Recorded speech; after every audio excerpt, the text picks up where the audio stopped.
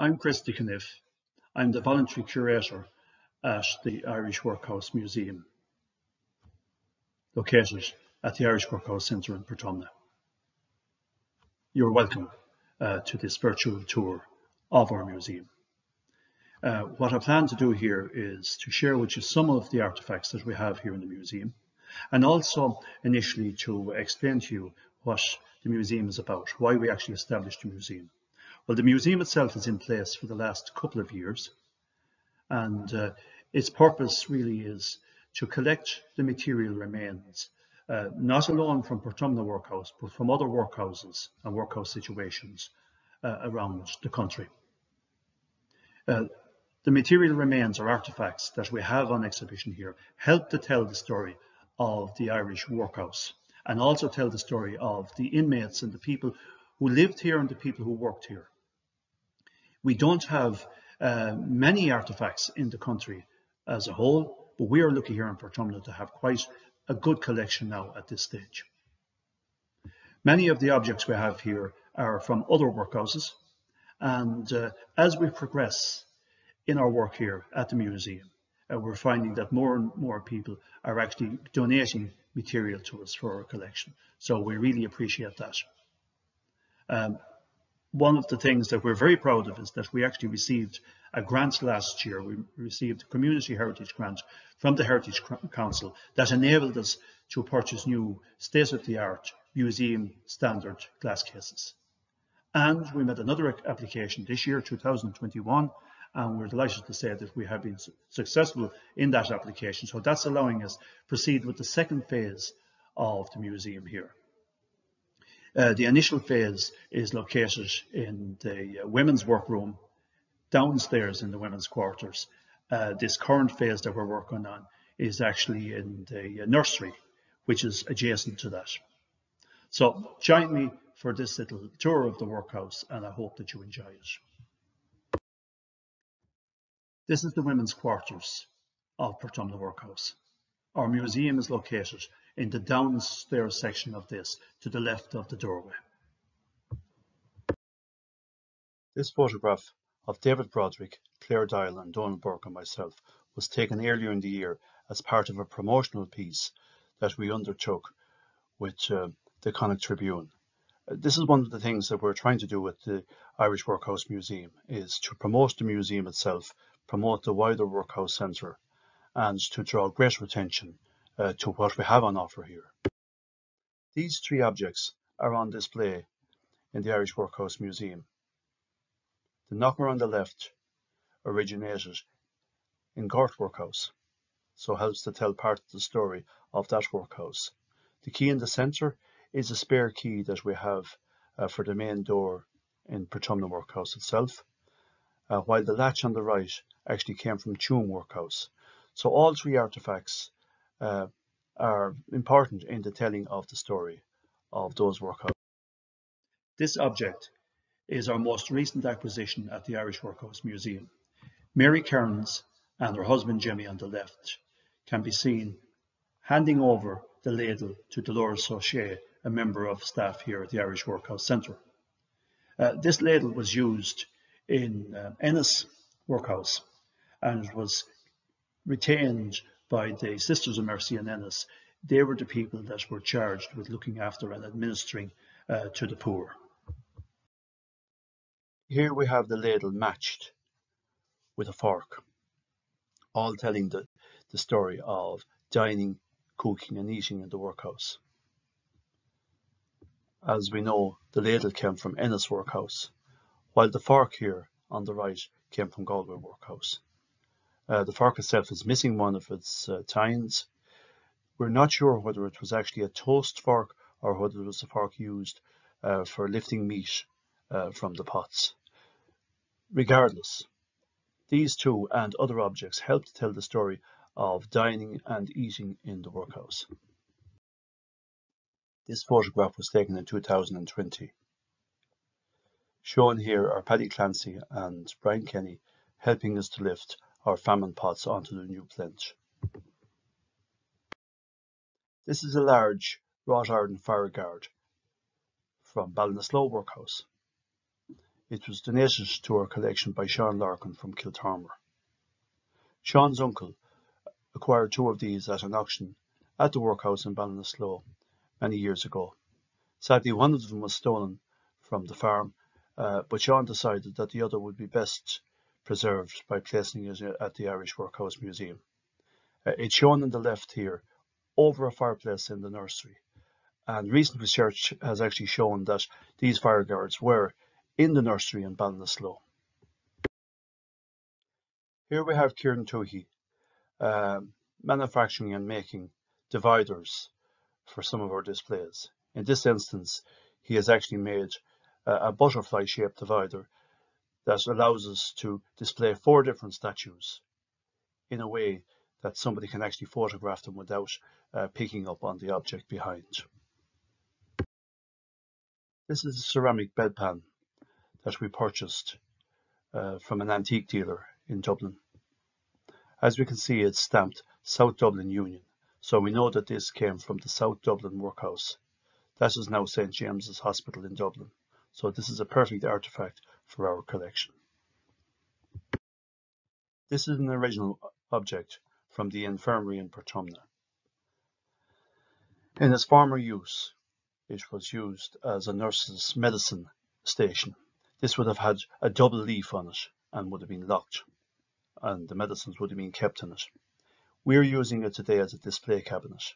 The top had been missing, so we replaced the top with glass, and uh, we have um, bottles and other objects that were recovered from the grounds beside the infirmary on display here in the cabinet. So it's been given a second life, if you like, but it's functioning both as an object or artifact itself in the museum, but also as a display cabinet. This ceramic plate was donated to our collection.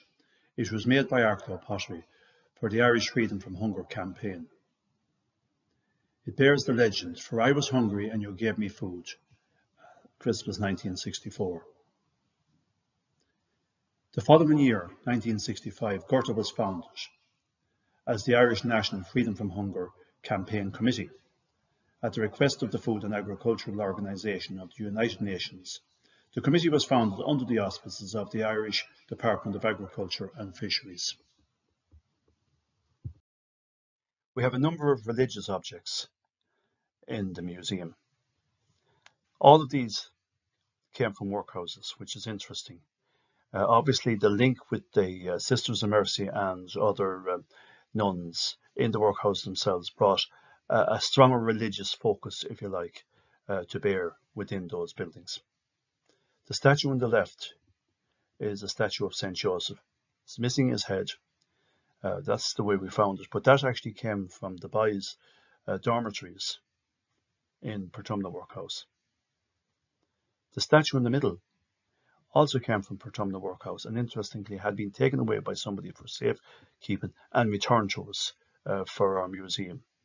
Uh, that's a statue of Gerard Majella, St. Gerard Majella, uh, a saint who was uh, canonized in 1904. Uh, Gerard Majella's primary function, I suppose, as a saint is for the protection of pregnant mothers, uh, unborn babies, and babies generally. So it's a very important item to have in the workhouse. This would have been used uh, within the infirmary, we presume, here in Portumna by the Sisters of Mercy as one of the devotional objects there. While the statue, the little child of Prague on the right, actually comes from Galway Workhouse. And uh, generally, you find that the child of Prague is missing his head, like the other two statues here. And in this instance, we can actually see that the head has been taped back on with um, plaster. So it's quite interesting to see that. Uh, we have several other objects of a religious um, nature as well in the workhouse. We have two small miraculous medals that were found in the men's yard uh, when we were undertaking works there, and also uh, a larger statue from Galway. These three objects were found in Portumna Workhouse. The two on the bottom are goose quills, which would have been used during the, the Victorian period as writing instruments. The one on the top is slightly later um, and comprises of a steel nib pin. This set of museum standard exhibition cases were purchased last year through a community heritage grant received from the Heritage Council. This is the second phase of our museum, located in the nursery in the women's quarters. We have been allocated further funding this year, 2021, uh, to purchase extra exhibition cases and also to develop storyboards that will help us tell a bigger story here uh, of the objects within the museum. These are some of the exhibition cases purchased last year, which the Community Heritage Grant. Um, in these particular cases, we have a small exhibition of Charles Dickens related material. And of course, Charles Dickens was very closely related with the uh, Victorian workhouse and uh, many of his stories were related to the workhouse. For example, Oliver Twist is one such story. And the little case, single case on the right there, we can see some of the uh, characters, some of these cream jokes from Oliver Twist. Uh, this is one of our really cherished objects within the museum at the Irish Workhouse Centre. It's an original stove from the infirmary here in Portumna Workhouse. The two pictures we see on the right here uh, are a pair of uh, nameplates. The one on the top bears the monogram of Musgraves of Belfast, the manufacturers of this uh, stove, and the one on the bottom is uh, for WK Fail and Company Parsonstown. Parsonstown is now Birr in County Offaly, and uh, the Fails were the suppliers of the, uh, the stove here to the workhouse. What's interesting here is that this has survived right through the history of the workhouse in Portumna. It was originally in our infirmary, and uh, what we're actually looking at here is a convective heater. Cold air is drawn in at the bottom of this heater or stove, uh, warms as it goes up, rises up through the tubes, flows out at the top, and is able to heat the infirmary area without any dust or ashes. So it's a perfect um, heating device for an infirmary. This is um, a military button with the Irish harp and the uh, initials IV for Irish Volunteers. This was found upstairs in the girls' quarters here in Portumna Workhouse. We know that there were soldiers billeted here during the years of the emergency. These are a pair of pennies recovered from the men's yard during a clean-up. The one on the left is a Victorian penny from 1897 and the one on the right uh, is an Irish penny from 1968. The Victorian penny is interesting because uh, Victoria was the monarch uh, that was in power during the years of the famine, during the initial years of the building of the workhouses here in Ireland, and uh, during the early years of the 20th century. This exhibit comprises of five cream jugs donated to our collection here. They uh, depict characters from Charles Dickens' novels. The character in the middle there is Mr. Bumble. Mr. Bumble was the beadle connected with the workhouse. These are books and novels by Charles Dickens. It is our long-term aim to develop an exhibition within the workhouse relating to uh, that whole Dickensian workhouse era. This is a penny token from Birmingham Workhouse. It dates to 1812. Inmates were paid for their work in some workhouses, but they were actually paid in tokens. So once the inmate had gathered 240 of these tokens, he could actually then go to the workhouse master and be given a pound note uh, in place. Here we have four coffin handles uh, that are an exhibit in our museum. These were originally in Portumna Workhouse had been taken away by somebody for safekeeping and were returned recently to us to exhibit. We also found uh, some fragments of coffin breastplate under the stairs in the, in the infirmary. All of this indicates that coffins were being assembled here at the workhouse. Here we see one fragment of the breastplate from a coffin. Nothing speaks more about the people than the artifacts that they left behind. In this instance, we have five mugs uh, Four of these are from Loughrea Workhouse, one of them from Portumna Workhouse. We have four enamel mugs, which are of the later period, and we have one tin mug in the centre. This tinware bowl was found under the floor of the infirmary. The bottom has rusted away over time, but it's still an important object here in Portumna to uh, tell some of the story about the people themselves. We have a number of artifacts in this display case. We have two mineral water bottles, referred to as cod bottles, and we have seven marbles. What was interesting about the cod bottle is that it actually had a marble in the neck uh, to seal the bottle. And often children would break the bottle in order to be able to recover the marble for playing. In this instance, uh, the bottle on the left is intact. We can see the marble in place. Uh, this was donated to our collection. The one in the middle, the bottle there in the middle of the shot, is actually a bottle that was recovered from Galway Workhouse. And we can see that the top is broke off the bottle and that the marble was extracted. The uh, marbles on the right that we see here, uh, those seven marbles, were all recovered from Portumna Workhouse. Now, we were never sure whether children were allowed to have ties in the workhouse or not, but these do suggest uh, that kids were playing with marbles here in Portumna. But what's interesting as well that in Gressenhall uh, Workhouse and Agricultural Museum in England, that marbles were recovered from under the floorboards upstairs in the boys' quarters. So this suggests that the boys here in Portumna were also playing with marbles.